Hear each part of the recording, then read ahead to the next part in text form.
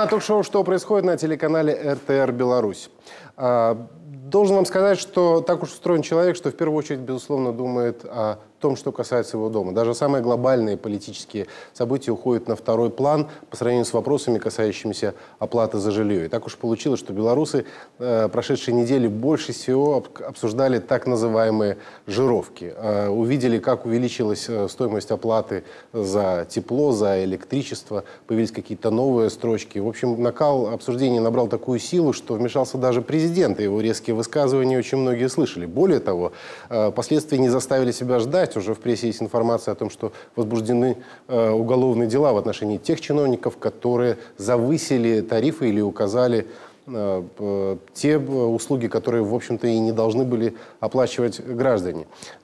Э, тем не менее, э, что происходит? Э, за что, почему мы раньше не платили таких денег, почему должны платить сейчас? И вообще, за что нам придется расплачиваться? Об этом мы поговорим сегодня в нашей программе. У нас достаточно много компетентных людей в студии. Но давайте начнем с небольшого сюжета, который подготовили журналисты СТВ. Эта неделя для всех белорусов стала отнюдь не песней. Январские жировки удивили многих, и прежде всего суммой. В ряде случаев она стала выше по сравнению с декабрем вдвое. Удивляется и жительница Минска, хозяйка двушки Елена Анатольевна. У нее именно такой случай. В жировке пришло миллион двадцать пять. Это только за квартиру ЖКХ. Это кроме газа, света, телевизора, телефона. В основном это подорожало отопление. В прошлом месяце там 400 было, то в этом 785. Все от того, что подорожали газ, свет и вода. Об этом сообщалось еще в январе. Плюс в жировке добавили новые строчки «Плата за уборку подъездов, обслуживание лифта и свет на лестничных площадках». На это, в частности на услугу переработки и обезвреживания отходов, обратил внимание и президент. Они начали вводить некие показатели. Допустим, раньше вывоз э, твердых бытовых отходов, а сейчас их переработка. Население должно платить.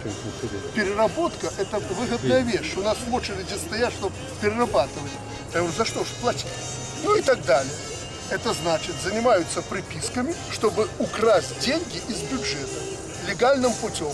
О суммах в жировках начали шутить в байнете. От гротескно-медицинского «продам почку, чтобы оплатить коммуналку» до сентиментально-пессимистичного «глянул на пришедшую сегодня жировку и заплакал». В соцсетях такие записи набирали сотни лайков. Говорили об этом и на улицах. Для меня это ужас. Я всегда экономлю. Вода, свет, счетчики. Ну, если, конечно, службу будут, будут выполнять свои должностные обязанности как следует, то я готова платить. Хотелось бы, чтобы это было поделикатнее. Да, я понимаю, должна цена расти. Но не так, чтобы как оглушили, как...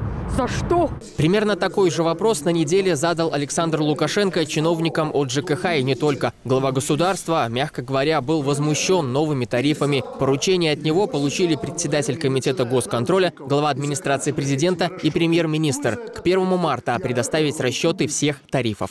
Мы вроде там все посчитали с вами, да? Мы все посчитали, но все получилось с точностью. На Значит, наденьте наручники тем, кто не выполнил доведенные по моему распоряжению вами и правительством вот эти тарифы. Вы меня поняли? Так точно.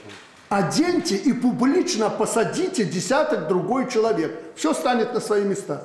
Хватит с ними шутить. Понимаете, мы тут что-то считаем, планируем, они делают все по-своему. И наручники одели. После заявления президента были заведены уголовные дела на сотрудников предприятий системы ЖКХ в каждой из областей Беларуси. Между тем, цены на ЖКУ в нашей стране остаются одними из самых низких в мире. В Европе за коммуналку отдают до 30% от дохода семьи. Это в среднем. В Швейцарии, в частности, и вовсе владелец трешки платит за жировку 5000 евро в год. В Прибалтике, например, коммуналка – это третья часть от зарплаты. Квартира у меня 48 метров. За январь я заплатил 130 евро, плюс электричество. В период зимы очень много людей не может заплатить эту плату. У нас накапливаются долги. Это я слышал. Примерно 30% точно не платят, потому что не может заплатить. Сравнить европейские жировки с нашими можно по стоимости киловатта электроэнергии. У нас он в среднем стоит 6 евроцентов. В Болгарии чуть дороже – 10 центов. В Германии, например, от 18. А в Бельгии, которая лидирует в этом показателе, 1 пятая часть евро. Понятно, что в последних странах другие доходы, да и каждый может сэкономить, используя меньше света. За океаном же стоимость света, как и в целом ЖКУ, может кардинально различаться в разных штатах.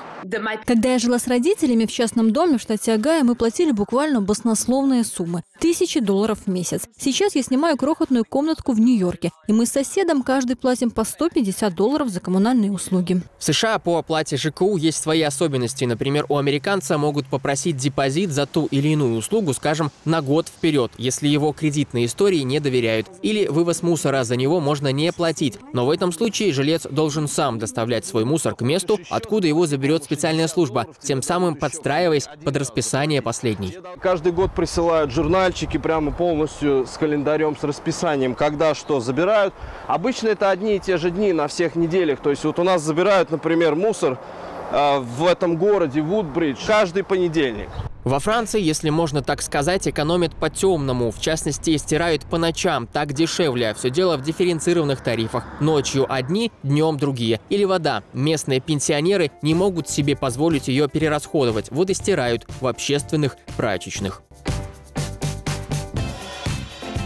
В Великобритании счета за газ и электричество в небольшой трехкомнатной квартире потянут на тысячу фунтов в год. Таких денег у многих тамошних пенсионеров нет. Один из выходов – отогреваться в публичных библиотеках. А в Германии детей учат в школе, как экономить. Специальные факультативы организованы на уроках математики, природоведения и физики.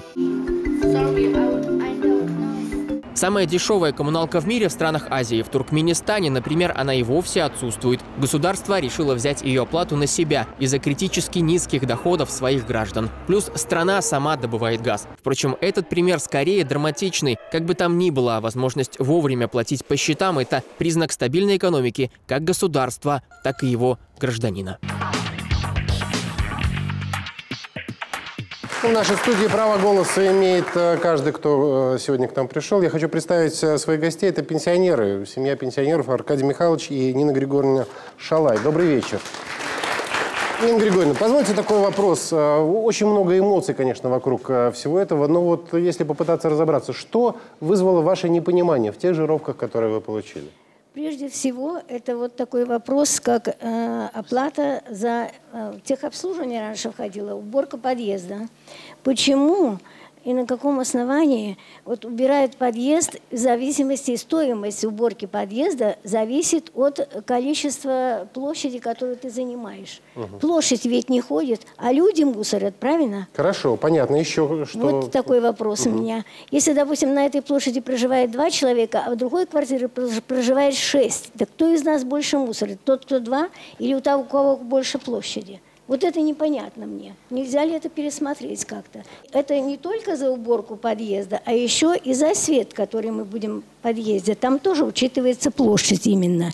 Угу. Не количество проживающих людей на площади, а вот именно площадь квартиры. Нина Григорьевна, а можно еще такой вопрос? Вот кроме того, что методология расчета, вас, а, а, насколько у вас увеличилась вообще оплата? Увеличилась, в частности, да. моей квартиры, ну, где-то в два раза примерно. Два раза? Если было. считать ну, все, все. А вы же разобрались, что, что увеличилось у вас? Оплата за тепло, за воду? За тепло, за воду, вот, вот за все, буквально угу. за все. Ну, кроме там, потом вот это обезвреживание, эти отходы эти и вывоз мусора. За вывоз мусора я согласна платить, а за обезвреживание, почему я должна оплачивать? Делать. Так если, если это э, там работают люди, которые этот мусор там перерабатывают и прочее, значит, пускай государство берут на себя эти, эти расходы. Почему я должна Понятно. Нина Григорьевна, большое спасибо, что задали сейчас эти вопросы. Никуда не уходите. Будем надеяться, что сегодня какую-то часть э, ответов на ваши вопросы мы э, получим. Итак, э, уважаемые гости, наверное, ну, вопрос, с одной стороны, достаточно простой, с другой стороны, достаточно сложный. Прошу вот вас пояснить, почему до, еще месяц назад мы могли позволить себе платить меньше, сейчас начали платить больше. У нас нету такой возможности э, больше, там, скажем, доплачивать, поддерживать государство. У нас в нас э, страну поставили в такие условия. В общем-то, ну, я думаю, что этим вопросом задается каждый, поэтому давайте попытаемся сформулировать вместе какой-то ответ. На самом деле произошла перезагрузка понимания содержания общего имущества.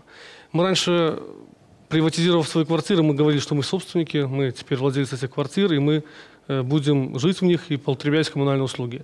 Но не совсем понимали до конца, так что такое квартира, что такое собственность, а откуда начинается, с порога моей квартиры или с входной группы в жилой дом. И вот здесь, именно сегодня и сейчас, произошла вот перезагрузка понимания вот этого общего совместного Олег владения. ну вот э, вопрос, наверное, больше в другом. Всех спрашивают, почему это произошло сейчас? Почему мы, э, вот, что произошло такое, что мы должны перезагружать эту ситуацию? Ну, наверное, ответственность собственника, чтобы он понимал в первую очередь, э, что он владеет не только квартирой. И э, мы э, добивались прозрачности начисления. Вот техническое обслуживание. Там все. Там и уборка, там и электроэнергия, там и освещение, там и работа оборудования. И вопрос извечный. Так что за техобслуживание? Что вы там делаете? Мы решили принять решение исключить те работы, на которые человек может повлиять непосредственно сам. Да, инженерная конструкция обслуживать должен профессионал. Да, инженерное оборудование должен обслуживать профессионал. А убирать, э, освещать, и, значит, э, это сегодня на это может влиять человек непосредственно. Ну, я, может быть, не об этом чуть-чуть спрашивал, потому что детально вас э, еще раз прошу. Э, Александр, Александр Иванович. Э... Я считаю, здесь два основных фактора. Первое, уменьшились доходы бюджета. Э, субсидировать из бюджета э, ЖКХ стало сложнее. Но в общем-то, можно было бы перераспределить статьи расходов бюджета, э, чтобы поменьше зацепить население. Но дело в том, что мы в настоящее время пытаемся решить вопросом с кредит, вопрос с кредитом от МВФ. А МВФ любит решать вопросы за счет населения. Вот вспомните, что... Вы говорите, любит э, решать. Может, может правильнее все-таки сказать, что это официальное требование, которое предъявляет это МВФ требование ко всем странам? МВФ. Они обычно решают вопросы за счет населения, и обычно это обостряют социально-экономическую обстановку в тех странах, которые пытаются получить этот кредит. Виталий Алексеевич, по вашему мнению, почему сейчас наступил, именно сейчас наступил тот момент, когда мы должны перезагрузить эту ситуацию, вот как Олег Григорьевич говорит? Ну, я считаю, что наступил обычный рабочий момент, то есть произошло как бы ежегодное подорожание цен. Это первое, то есть нет такого, чтобы это все тут что-то такое случилось, что-то непредвиденное или все, это было ну, обычное подорожание. Я вот ну, хочу, наверное, ответить все-таки на вопрос, почему на метр квадратный. То есть важный момент. Мы, собственники этого имущества, должны участвовать, это в статье Жилищного кодекса прописано, в содержании общего долевого имущества, соизмеримо занимаемой нами, нашей собственностью площади. То есть все понятно и все логично чем больше у тебя квартира, тем больше затрат на содержание общего имущества. То есть это, это методология расчета не на количество людей, а на метр квадрат. Конечно, такая методология во всем мире. Во всех странах Европы, ну, это даже как бы однозначно. То есть только То есть хочешь такая... жить в большой квартире, пусть даже один, ты вынужден платить за все. Конечно, за конечно, это все понятно. Леонид Борисович, по вашему мнению, вы всегда отличаетесь ироничной улыбкой, ироничными высказываниями по поводу любой экономической ситуации. Почему именно сейчас наступила ситуация такая? Действительно, э, это внешнее давление на вот социальные э, э, вопросы, которые мы пытались решать внутри страны? Это произошло потому, что должно было произойти давно. И просто наступил такой момент, когда государство больше не в состоянии, как было тут уже сказано, э, субсидировать отдельные статьи э, расходов, которые теперь э, перекладываются на население, но то, что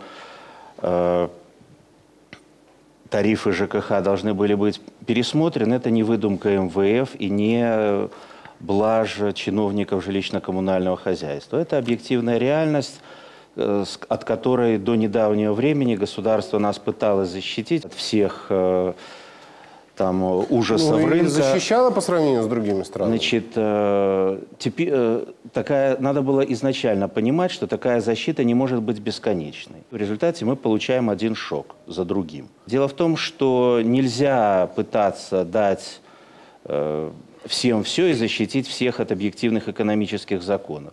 Точно так же, как нельзя все, всем э, пообещать, что на них не будут распространяться Хорошо, у меня гравитации. другой вопрос. Мы знаем примеры, когда это не было шоком? Геннадий Геннадьевич. А, я бы сказал даже более жестко. Недовольство населения было неизбежно. По одной простой причине. Э, в 2003... Но любое повышение, конечно, неприятно. Э, повышение повышению рознь. Вот если бы было все как планировалось в далеком 2003 году, когда население оплачивало 50% стоимости жилищно-коммунальных услуг, и планировалось к 2015 году каждый, месяц, каждый год добавляя по 3,5% выйти на 100, вот такого резкого недовольства не было бы. Но к 2015 году с точностью до наоборот мы опустились до 15% возмещения. И э, ну, можно опускаться дальше, но неизбежно будет повышение. И чем меньше будет население оплачивать в этот момент, тем больше будет недовольство. И получается, что чем дальше мы откладываем неприятные решения, тем болезненнее тем потом они становятся. они становятся. Олег Григорьевич, а вот вы можете дать э, информацию, действительно ли 15% э, на сегодняшний момент, ну, до этого повышения 15% населения оплачивало от всех расходов на коммунальных? Значит, уровень оплаты, он варьируется от зимней и, соответственно, летней счет, счет извещения. И мы понимаем, что когда тепло, то, естественно, субсидия тепла, она самая большая, поэтому уровень возмещения падает. И он опускался там ниже Ну, приблизительно, вы сориентируете, вот сколько? ниже 32 он не опускался. В районе 30% это было общее возмещение по всем жилищно-коммунальным услугам. То есть э, вместо того, чтобы, насколько я понимаю, как было в плане, что мы на 100% выйдем, мы, наоборот, государство поддерживало и поддерживало. Вы понимаете, здесь два момента серьезных. Вы вспомните, у нас э, был кризисный год, 2009, и с целью не увеличить нагрузку на население, было принято решение не поднимать тарифы, а каким-то образом э, сохранить ту политику социального государства и сгладить. И можно сказать, к чести нашего президента и руководства страны это удалось. Но когда пришла ситуация, э, нынешняя экономическая ситуация, мы поняли о том, что дальше сдерживать нельзя. Дальше нужно идти по пути реформ, которые помогут э, компенсировать населению часть затрат, которые несло государство. Но вы знаете, Сейчас и э, не только сейчас, те, кто говорят о резком повышении, у того нет сердца. А те, кто говорит о том, что ничего менять не надо, все оставить как есть, пускай государство датирует, э, у них нет, нет ума. головы, да. Но как, но дело в том, как э, умудриться э, и остаться э, с, нормальным сердцем и с нормальным умом. Да, Здесь президент сказал, давайте реформировать. Но вы знаете, наши рьяные чиновники взялись за реформирование.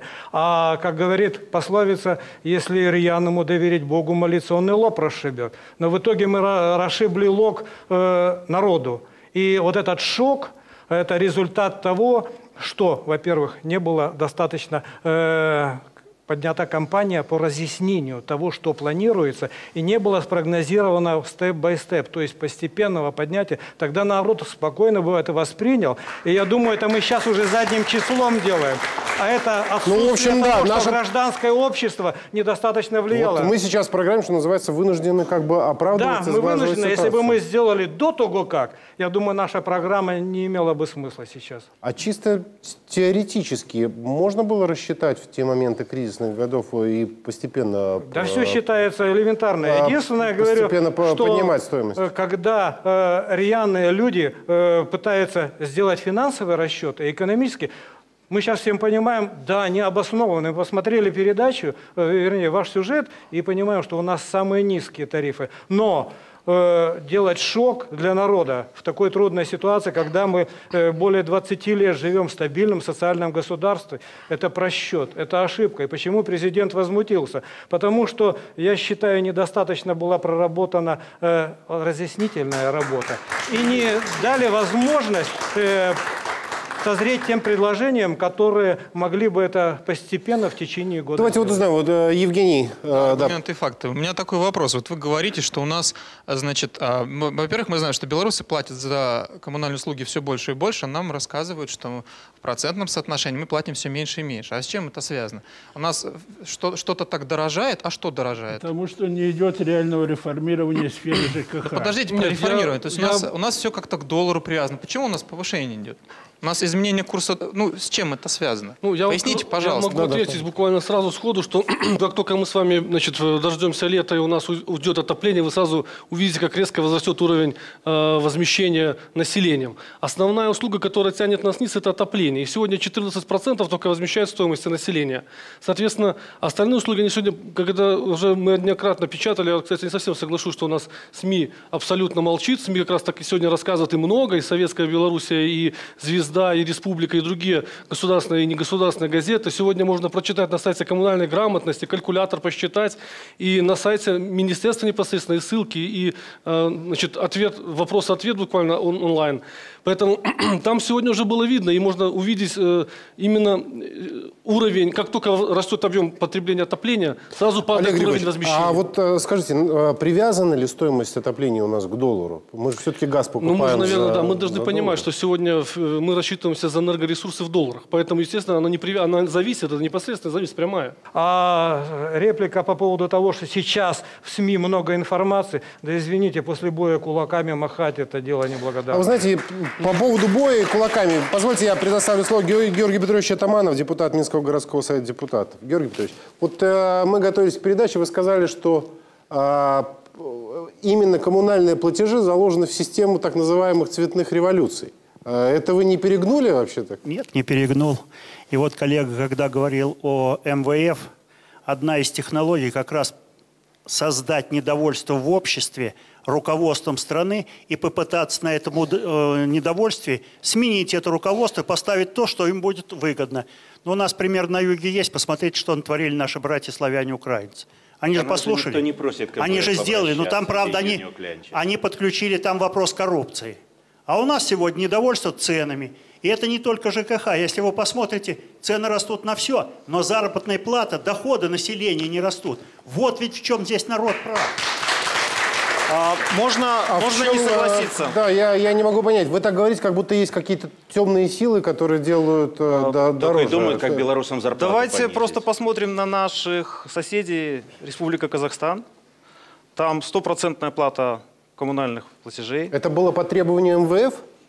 Неважно. Они не А, обращались Суть к в чем? В Казахстане столько нефти, что нам во сне не снилось. Суть в чем, что Поверьте, дома в Казахстане выглядят гораздо хуже, чем наши. Хорошо, но это многоэтажки. сто процентов. А сколько стоит, условно говоря, оплатить? Цены, цены э, гораздо выше. То есть, если, если сравнивать, то условия, в которых, ну, скажем, живут простые потребители в Казахстане, они намного хуже. Но за президента Назарбаева проголосовало 90, я уже не помню, сколько процентов. То есть, это вещи не взаимосвязанные. Я могу пояснить. Двухкомнатная квартира там стоит порядка 90-95 долларов. Оплата Да. э, э, коммунальных расходов. Да, это в Астане. И это сто процентов мы можем говорить о том, Доходы что у них это... сейчас порядка 350 долларов. Если у них были раньше, вы же помните, у них две, две волны девальвации было. То есть у них тоже доходы упали, э, как и у нас упали доходы меньше. Совершенно верно. Но понимаете, основная же проблема, мы о чем не говорим. Наше э, население снабжает кто? Везде монополисты. Энергетики, которые поставляют энергию населению, чувствуют себя комфортно, рентабельность у них высокая. И цены они устанавливают, э, конечно, под контролем государства, но есть попытки отменить этот контроль. То есть, э, в общем-то, ситуация складывается таким образом, что на население списывается нерациональное использование э, тех же энергоносителей, той же горячей воды. Посмотрите, на- улицах зимой обогревают газоны, э, теплотрассы. Э, э, Официально списываются энергия, где-то якобы списываются потери 17%. На самом деле монополисты всегда найдут способ э, списать все потери на население и получить еще прибыль. Ну, Вот теперь мы обсуждаем вариант, как выйти из этой ситуации, правильно? То есть Знаете что, у меня, у меня больше... надо, а, позвольте я вот этот момент обязательно уточню. Есть ли какие-то точные цифры или расчеты, насколько нерационально используются... Мы буквально две недели собирались... в точно этой- вам не может никто сказать, потому что я- в я каждом это сегодня вчерашний цифры. день. Э, Да, действительно до недавнего времени мы жили по принципу затратному. Сколько затрат у нас получилось на поставки коммунальных услуг, столько мы и выставили потребителю, а за разницей пошли в бюджет. Сегодня, сегодня нет. Сегодня у нас работают в стране и действуют планово-расчетные цены. У нас сегодня каждая, каждая статья, каждая услуга зарегулирована и занормирована. 12% потерь, которые сегодня можно включить в себестоимость. Больше, пожалуйста, у тебя больше, это, это на твои убытки, на твою прибыль, на твою бесхозяйственность. Люди сегодня за бесхозяйственность не платят.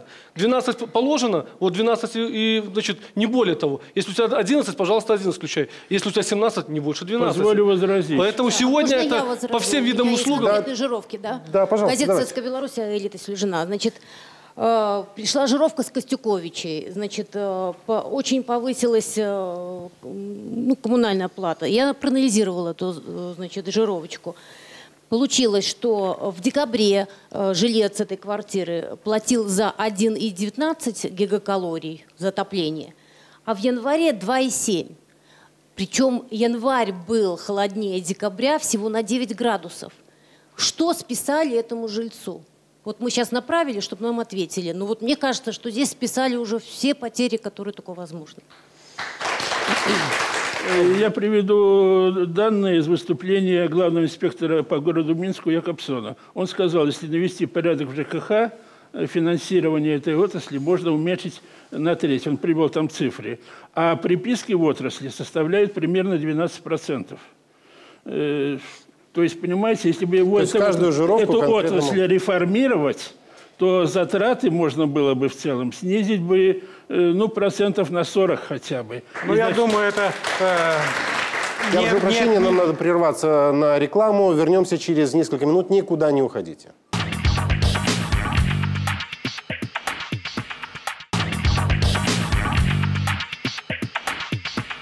Давайте сначала определимся с самым главным. Э, С точки зрения государственных интересов, с точки зрения э, конкурентоспособности нашей страны, мы должны перейти на то, что граждане должны оплачивать э, 100% своего жилья. Насколько я Здесь понимаю, это здесь или это варианта. происки, или это происки Обоснованных, но не МВ. Здесь два варианта. Во-первых, уменьшить себестоимость, то, о чем сказал президент. О, значит, уже э, в данном случае население будет платить не 50, а минимум 70%, потому что на 25% уменьшится себестоимость. И тогда поднимутся тарифы о, всего на 25-30%. И второй вариант – навести порядок в потреблении, чтобы не греть газоны, о, не, не... Я- это, это немножко другая сторона вопроса. Я просто пока вот э, хочу э, от вас добиться такого ответа. Государство должно перейти на такие рельсы, что граждане оплачивают 100%. Да, Всего, но что- постепенно. Я хочу сказать, для Как- как создания это происходит конкуренции у- это не обязательно. Кстати, очень хороший пример. Мне даже понравилось, что это не от меня, а от э, го- гостей в студии. Действительно, очень правильно вы сказали, что именно э, заказчик сегодня должен создать экономический стимул и мотив для снижения затрат. Вот мы говорим, верно. Снизьте затраты, снизьте затраты. Сам не будешь снимать. Но как только э, заказчик проведет конкурс, с- сами участники конкурса уже задумаются, если для того, чтобы мне выиграть, мне нужно снизить и свои внутренние хотелки, и э, какие-то издержки для того, чтобы быть конкурентоспособным на рынке. Вот это экономический мотив. И заказчик нам тут должен помочь. Ну, вы знаете, тут э, в данной ситуации нас э, с вами смотрят конкретные квартиросъемщики. Вы иногда апеллируете как бы такими э, больше, больше понимаете, экономическими... прежде всего заказчик, квартиросъемщик. Дело в том, что горосполком и горсовет – это представители заказчика. Мы забываем о том, что главный человек у нас – это заказчик, это житель, это гражданин нашей страны. Остальные у него на службе состоят. И происходит так, что появляется какое-то количество посредников, которые по-своему составляют э, эти самые... А для этого гражданин или его представитель должен э, присутствовать при тендерах или при работе заказчика. Ну, это уже не просто. Егор, Георгий Петрович, как у знаете вас что, устроено? вот э, здесь один момент, наверное, особенно важный.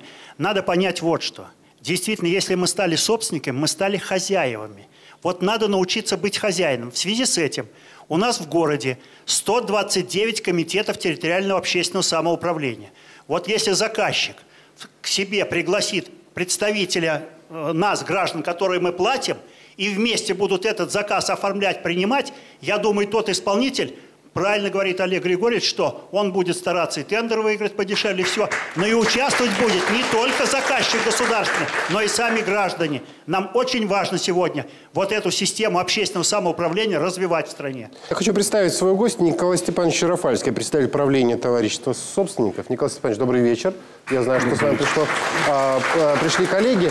А, насколько я понимаю, эта система не очень распространена в Минске, допустим, так, как это происходит в Москве. Во всяком случае, если смотреть новости, а, связанные с Москвой, бесконечное количество судебных а, разбирательств, связанных а, между управляющей компанией, которая следит за домом, за отоплением, и жильцами. Вы представляете компанию, такую же товарищество, которое занимается на, скажем, общественных или коммерческих началах. В чем выгода жильца и в чем выгода вашей организации? Э, В чем выгода или какие минусы? Ну, допустим, э, мы на совместных э, собраниях утверждаем наш годовой бюджет. Мы определяем, сколько денег куда направить, какие зарплаты должны быть у сотрудников и какие расходы нам предстоят. Этот бюджет э, утверждается общим собранием, и все, в принципе, видят, что происходит в нашем товариществе собственников. Хорошо, поясните ситуацию так очень просто. Вот по сравнению с домом, у которого нет такого товарищества э, собственников, а, который получает жировку, в которой указано вывоз мусора, э, уборка территории, оплата за лифт, оплата за э, свет. Чем отличается жировка или вот как бы какие-то расходы человека, жи- участвовав в так- участвующего Ну, в знаете, в принципе, она ничем не отличается, потому что товарищество работает в том же правовом поле, что и любое Хорошо, а может быть это дешевле или качество услуг выше? Но, но при этом, э, я так полагаю, вот, что, в принципе, э, качество услуг, как и в ЖЭСах, в ЖЭО, ЖЭУ, оно повышается. Нельзя говорить, что все стоит, так сказать, на месте. Но мне кажется, что э, товарищество собственников, где э, работает профессиональная команда, профессионал работает от работника до управляющего, э, обслуживание несколько лучше, хотя это где-то может быть на несколько э, тысяч рублей дороже дороже, потому что это требует, ну, допустим, поддержания подъезда, поддержания придомовой территории в надлежащем, хорошем состоянии, оно требует каких-то дополнительных вложений, но незначительных. Потому что мы стараемся... То есть, в принципе, это дороже получается жильцу? Э, Я бы не сказал, что это значительно дороже, Хорошо, но но в немножко. чем тогда немножко. плюс? В чем люди, выгодно? люди хотят платить за качество услуги.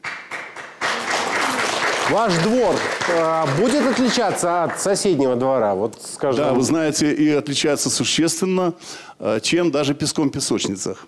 У нас мытый песок, напротив песок, к сожалению, не совсем мытый, потому что, очевидно, у государственной организации ЖЭС ЖЭУ не хватает денег, чтобы купить его такой. А мы для своих детей не жалеем денег. А, Знаете, я думаю, что самый большой удар, э, вот, э, скажем, всей этой волны негодования достался, конечно, работникам э, расчетных центров, потому что население приходило к ним, и в первую очередь, вот, э, встречая этих людей, которые отправляли или э, высылали эти жировки, именно им досталось больше всего. Хотел бы э, спросить, э, насколько возможно в этой ситуации э, ситуация с э, а, ошибками, э, на которые ссылаются чаще всего население, которое пишет в прессу, которое пишет э, к нам на телевидении. Я представлю своих гостей. Это Николай, Ник- э, Николай Николаевич Строх, директор э, ЖРЭО Ленинского района, Сергей Иванович Нехай, директор филиала «Единый расчетно-справочный центр города Минска, Инна Михайловна Афанасьева, начальник расчетно-справочного центра номер 3 заводского района. Как происходит ситуация, когда вы выясняете, что допущена просто ошибка? Просто вот э, в цифре допущена какая-то ошибка. Как вы выясняете, как, вы- как можно эту ситуацию изменить и, поде- и как часто это происходит? составляется акт, комиссия, ознакомится обязательно потребитель, который не получил качественную услугу. По этому акту производится перерасчет. Сергей Иванович, ну сейчас у вас жа- жаркая пора была. Жаркая пора. да? У нас и горячие Много линии скандалов. работают. Люди Скандалов. скандалят, э, приходят ругаются. Люди приходят выяснять те обстоятельства, которые возникли с увеличением тех или иных видов услуг. Перерасчет происходит по таким видам услуг, допустим, по отоплению. Возможно, счетные ошибки поставщика услуг Минскоммунтеплосетей, либо Минскэнерго. Для этого существуют счета, создается комиссия, проверяется все, предоставляется информация в расчетно-справочный центр, и перерасчет производится. Без всяких проблем. У нас нет. Николай Николаевич, можно вам а, вопрос? А, вот а, представьте такую ситуацию, что человек, допустим, а, долго не платил за что-то, ему насчитывается пеня, и совершенно понятно, он платит какой-то штраф. А, Но если ошибся, ну, человеческий фактор никто не отменял. Если просто ошибся какой человек, есть ли пример или метод, ну, соответственно, штрафования, вот, скажем, таких сотрудников? Ну, конечно, наказание всегда существует. И, наверное, это наверное, один из методов для того, чтобы бороться с этим. Ну, совершенно верно вы сказали, что человеческий фактор. Все показания, которые включаются в жировку, они осуществляются человеком. То есть показания снимаются им, за исключением там, приборов учета тепловой энергии, где у нас там сейчас установлена система Инделка, которая дистанционно снимает эти приборы и автоматически переносится в программу. Конечно, есть такие случаи. И вот по данным вопросам у нас вообще по январю месяца по начислениям создана комиссия по рассмотрению этих вопросов. Если выявляются такие факты, значит, э, в следующем месяце будет выполнен перерасчет, а виновные люди будут привлечены, если действительно в этом есть их вина. Ну вот сейчас э, такая шум, ну, вызвала большой шум информации о том, что возбуждены прямо уголовные э, дела. Вы наверняка знаете, ну как, что же такое надо насчитать, чтобы было уголовное дело? Какую же ошибку надо э, допустить? Если бы мы постепенно по одной услуге, то, что вот было предложение, да, это все вводили. То есть мы одномоментно в течение, по сути дела, 15 дней января перевернули все, сделали полную перезагрузку. То есть э, многих услуг таких и не было. То есть их нужно приходилось по-новому считать. То есть, э, ну, что греха, греха таить, конечно же, снятие показаний этих электросчетчиков, они должны быть ежемесячно. Но многие, ну, как, наверное, и мы с вами в квартире, когда часто мы там смотрим этот электросчетчик? Да, в общем, привыкли долгие годы вообще даже не, обра... А его не обращали внимания. ежемесячно. Вот, Так вот, же вот, и- вот эта вот перезагрузка, это очень интересно. Можно я? Да, да, пожалуйста. Андрей Метельский, психотерапевт. Вот э, вы знаете, в психологии есть такое понятие. За каждым поведением стоит намерение. У меня один вопрос. Зачем? Не почему, заметьте, а зачем? Все это было сделано внезапно, да? То есть какое-то ж намерение за этим стоит. Я понимаю, что чиновники, которые здесь находятся, на этот вопрос не ответят. Они до сих пор не ответили ни на один вопрос ведущего. Ведь это зачем-то было сделано вот так, внезапно, да? Вот чисто психологически. Что, ну, мы что- можем, конечно, согласен, искать- что искать на самом как- деле ни- ничего тут внезапного нету. А, На протяжении э, двух последних лет э, все СМИ говорили о том, что в Министерстве жилищно-коммунального хозяйства, вообще в отрасли жилищно-коммунального хозяйства работает э, рабочая группа в ра- в рамках распоряжения главы государства.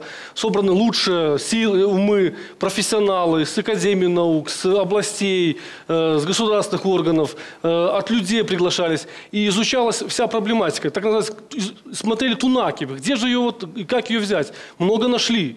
И очень многое вот это все легло в нормативно-правовые акты. Это выводы, это квитэссенция эт- этих двух лет. Да, так получилось, что э, с этими выводами согласились и приняли 31 декабря э, 2015 года. Да, так получилось, что тарифы у нас в государстве ежегодно в январе пересматриваются. Да, так получилось, что и январь у нас был ну, наиболее холодный, чем все оставшиеся зимние месяцы этого отопительного периода. И вот эта накладка. Но сказать о том, что вот это вот э, спланированное и долго вот взяв и в один момент решили тут сделать, нет. Это двухлетняя работа, это итоги ее. Олег Григорьевич, тут нельзя, конечно, сбрасывать со счетов э, тот же самый человеческий фактор, потому что платить больше всегда неприятно. Но с другой стороны, когда э, вроде бы как бы шла об этом речь, вы знаете, вы говорите там э, вопрос-ответ в какой-то газете, в Советской Беларуси там об этом шла речь, все равно это оказалось для большинства, как ни крути, ну просто шоком. Э, Я, я могу сказать, что на самом деле мы это обсуждали весь 15 год. Вот эти новые нормы, они были. Они бы и в декабре очень много было интересно, много статей. И в январе были статьи. Но это, это не значит, что мы начали буквально два дня об назад этом даже и близко это не рассматривать. слышал. Потому что это было интересно. неинтересно. Они Вторые- целый год где-то все это обсуждают, а народ бас по башке, оба, в два раза. И что Вы знаете, человеку интересно только тогда становится, когда он получил счет извещения. Пока это было так, обсуждали, говорали, ну пусть поговорят. Не будет спекуляции выноситься на всенародный референдум. Это обсуждается в узком кругу специалистов всегда. Остальные получают результаты, конечно, он является неприятным. Вот все-таки хотелось бы знать, какая реформа будет в ЖКХ, чтобы тарифы не росли так быстро, как на самом деле будет реформирование. А то подняли тарифы и все. Если человек захочет просто э, сэкономить на оплате своих коммунальных расходов, он может это сделать внутри своего э, жилища. Условно говоря, можно сам прибирать сделать- в подъезде, там, что, что для... Совершенно верно. Убирать в подъезде, отказаться от какого-то вида услуг, но это... Но это не надо же как- договариваться со всем подъездом, получается? Да, кардинально не решит вопроса. Я полагаю, здесь надо на какой-то период заморозить какие-то вещи, э, которые подняли там в два, в полтора раза. И э, отработать программу, допустим, дорожную карту, по которой мы выйдем на те проценты погашения затрат, которые предусмотрены в этом году. И тогда, я думаю, во-первых, накал среди населения снимется. Во-вторых, за это время у ЖКХ и у других органов будет возможность оптимизировать расходы, потому что, я думаю, правильно сказал Александр Иванович, ну, по крайней мере, 30%, э, хотя президент поставил задачу 25%, ну, во многих, может, не, не во всех затратных вещах, но можно найти. И тогда уже поднятие будет не на такую большую сумму. И народ это воспримет вполне Василий. Васильевич, Василий Васильевич, а дорожная знаете, карта Егор, одну секундочку, я Выйти- хочу просто выйти на то, дополнить чтобы- Василия Васильевича. И знаете почему? Мы опять уходим в сторону. Мы всегда будем винить всех. Скажите, пожалуйста, чисто там, где мы сорим, или там, где убирают? Надо начинать опять с актива. Я вот повторно предлагаю министерству и представителям ЖКХ работать с людьми, разъяснять. А то, что они сегодня повышают, если бы мы разумно работали с людьми, опирались на актив и дошли до каждого подъезда, поверьте, и цен бы таких не было, и люди по-другому воспринимали. В основе человек, и правильно говорит об этом президент. А, Виктор Васильевич Клименко, директор частного ЖЭС. Расскажите, как у вас обустроено хотел бы дело? Да. сделать такое небольшое как бы, замечание, привлечь внимание вот к какому моменту. Значит, э, наш вот частный ЖЭС обслуживает товарищество собственников. Значит, и интересный момент. Из всех товариществ, которые мы обслуживаем, вот на данный момент 6 товариществ, пару, пару человек только пришли, спросили, что поменялось. То есть у нас э, в товариществах нету вот, вот этого ажиотажа, что поднялись тарифы, поднялись цены. А почему вы это А я вам объясню почему. Потому что товарищества вынуждены жить по расходам. То есть, что потребили, то и оплатили.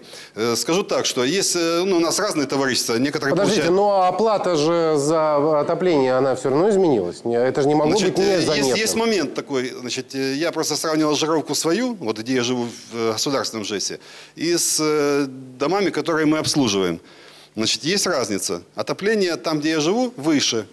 Я могу объяснить почему. Потому что наши специалисты вот, в нашей организации, ну, по крайней мере, через день точно попадают в теплоузел и смотрят, как там себя ведет автоматика.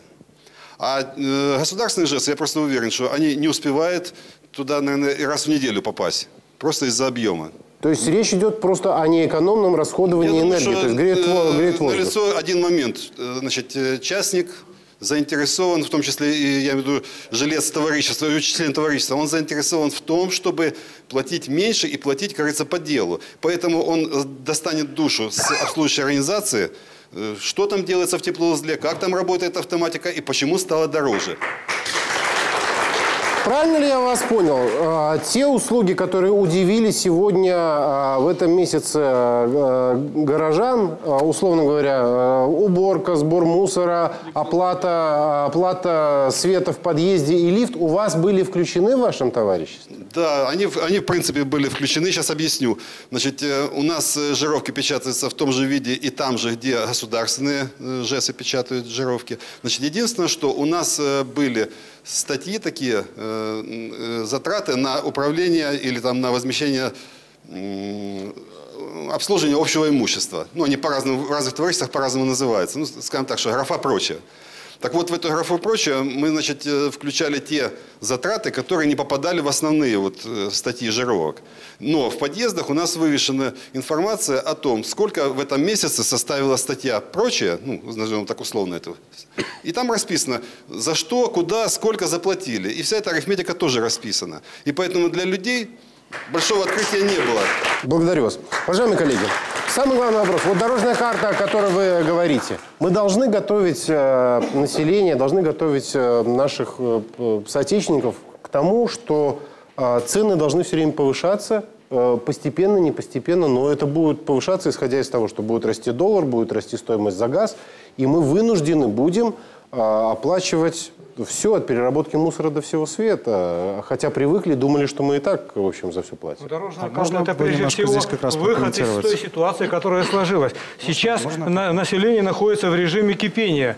И дабы э, решить этот вопрос, как сказал президент, найдите варианты, объясните людям, сни, снизьте себестоимость и какие-то виды услуг э, заморозьте. Насколько мне известно, министерство разрабатывает сейчас варианты предельное начисление по видам услуг, которые в данном моменте выглядели но мы, мы, мы должны говорить о том, что повышаться цены будут. Да, но если Все это равно. делать степ-бай-степ и с учетом понижения затрат, то это будут не такие фантастические. И здесь еще один момент нужно, наверное, учесть. Василий Васильевич говорит, но не договаривает.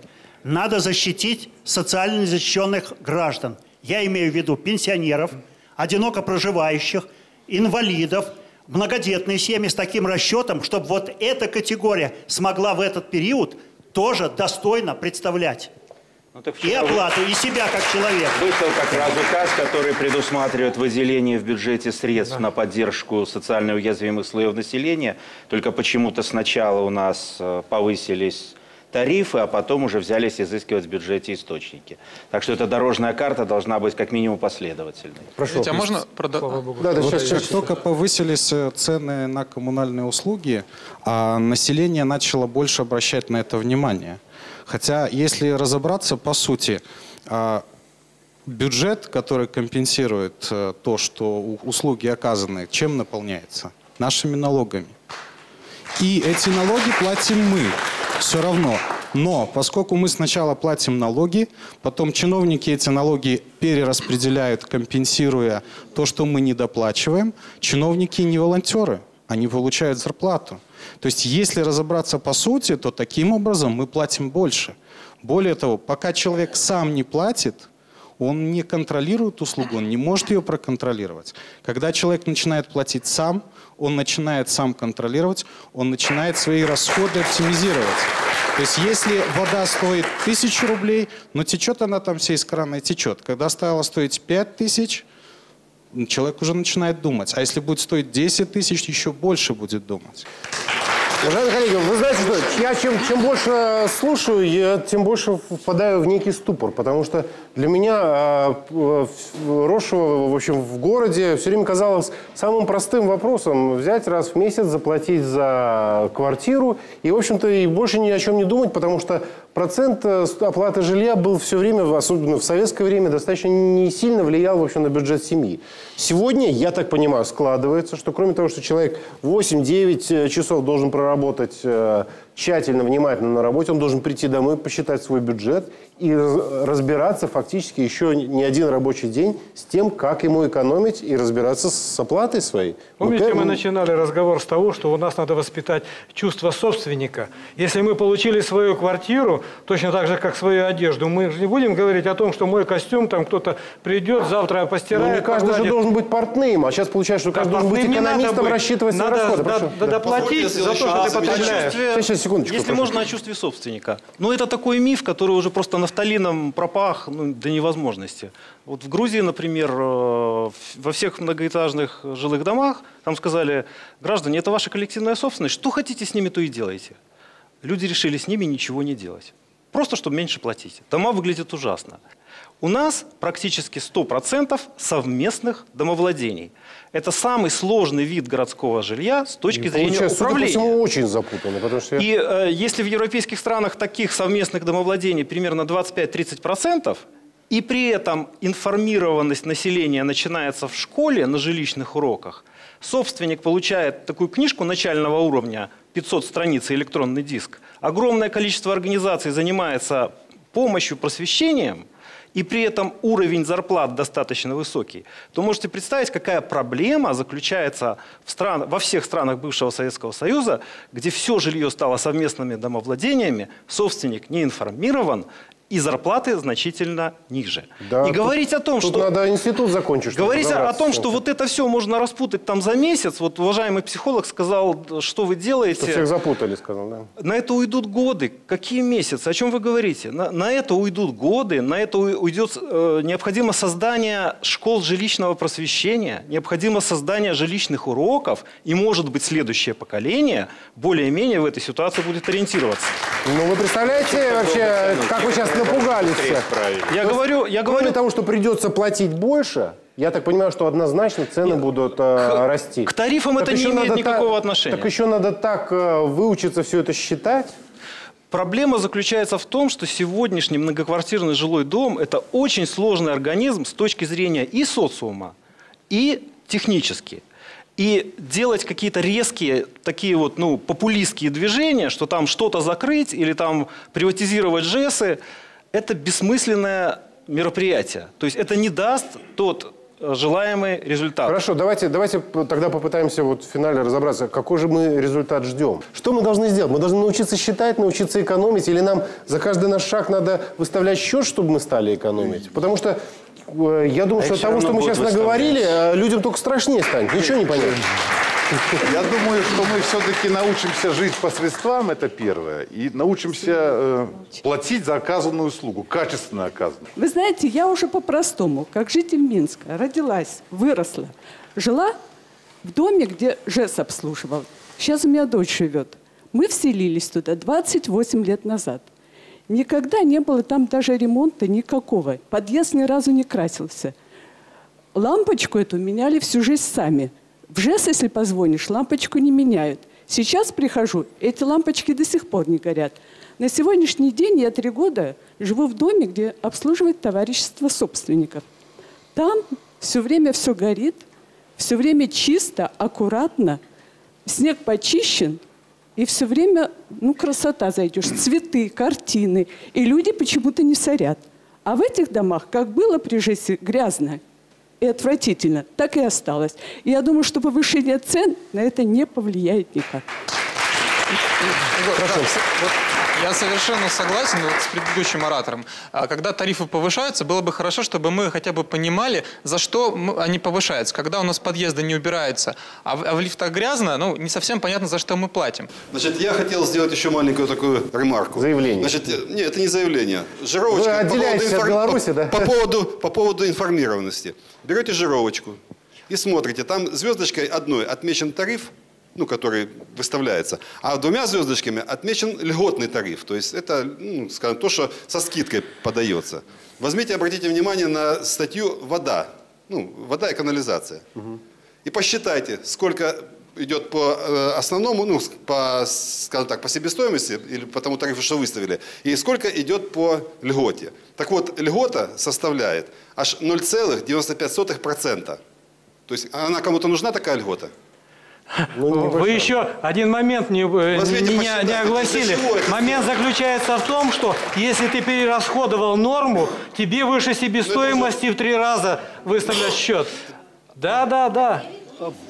По поводу экономии. Как экономить воду, электроэнергию, ну и так далее. Очень короткий ответ. А, Мы разработали специальную такую брошюру «Настольная книга собственника квартиры многоэтажного жилого дома», где это все подробно написано, и любой бесплатно может скачать ее из интернета.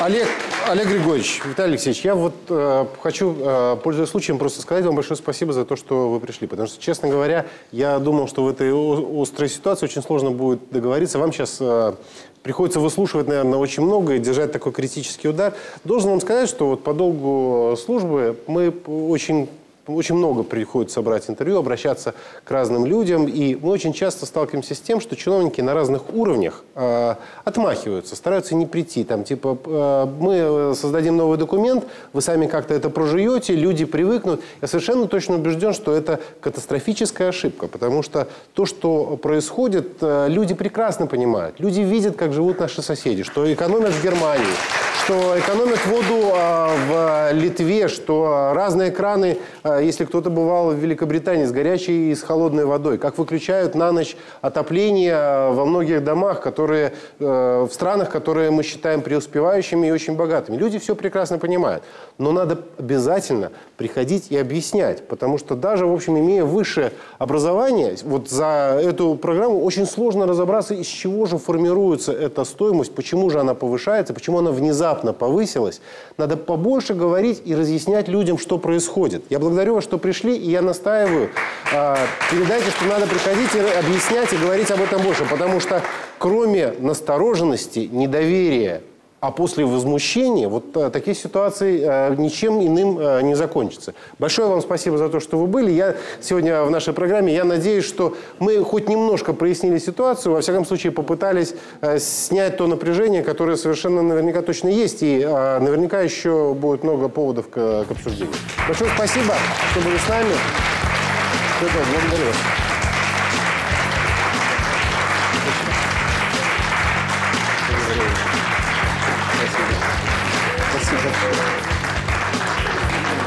Спасибо большое.